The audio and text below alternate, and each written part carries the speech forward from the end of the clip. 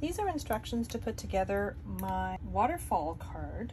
In this version, I've used Cricut Cuties to adorn the king, the queen, and the jack of the card set. First thing we're going to do is just glue our cards to the corresponding backings.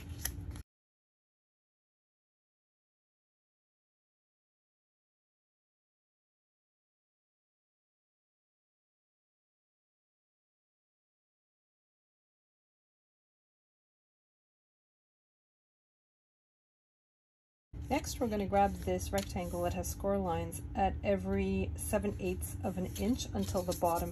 You see this panel is a little bit longer than the rest of them. You want that one on your right hand side. Next, grab your pull tab.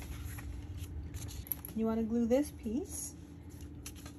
You want it flush against that tab and you want it centered on the vertical. So you want equal amounts on the top and the bottom here. So we're just going to put a little bit of glue on that tab. We're just going to position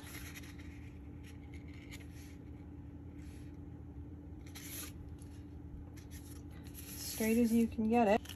Then we're going to take our cards and we want to put them in a particular order. Um, I wanted mine from Ace, Ace, King, Queen, Jack, 10. I wanted them in order. So I took my Ace first and I put glue just between the end panel and the first score line. And I position my card so that's exactly on the end of that tab. So it's flush with the end and it's flush with each side of the pull tab. And when your glue is sufficiently dry, you want to pull that back and you're going to put glue again between the two score lines again. So just make sure you don't get any glue anywhere except between those two score lines. And that's where your king is going to go. And again, you want it flush against. So make sure it's flush against the line here and that it's exactly straight along the edges of the previous card that you've put down. And once your glue is nice and dry, you just fold over to the next score line. That's basically what you're going to do for the remainder of the cards.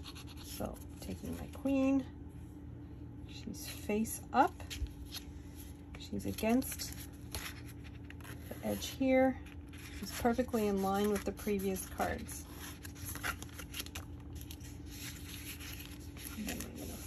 Her back and glue between the score lines.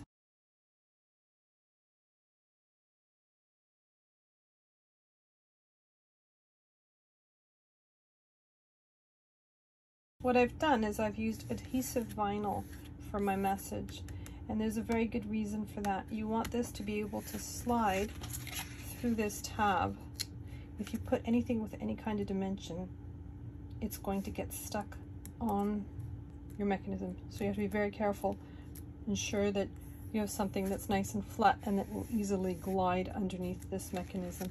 I'm just going to glue my panels. My panel on the inside is smooth. My panel on the outside has that debossing on it. I used holographic craft board, which I thought was an interesting, and it doesn't really show on camera, but in person it's quite something. So I'm just going to adhere my panels to the card base. Next, we're going to glue this piece to the accordion part of your card. So what you want to do is flip it upside down and we're just going to put glue on the edge of this piece here. And what you want to do is you have to place this on the edge of this piece, but you also want to center it you want to have equal parts here and there. If you flip it over, you can probably tell a little bit better. So flip around again and just make sure that it's exactly on the edge of this panel. And this panel is still nice and free. Okay, and we're going to flip it over. Grab your card base Now what you can do now is just put glue on this section and this section of those tabs. And you don't want it going anywhere near the edges because these edges are the part that still have to move back and front. What I'm going to do is try something a little bit different. I wanted to use foam tape. You can use glue. I've used glue and it's worked beautifully. But I just want to try it with some foam tape. And then you want to position your card. So this entire piece, try to center it on your panel and make sure that the edge of your pull is still on the edge of the card. And press down. If you've used foam tape, just press down securely. And if you've used glue, make sure your glue is nice and dry.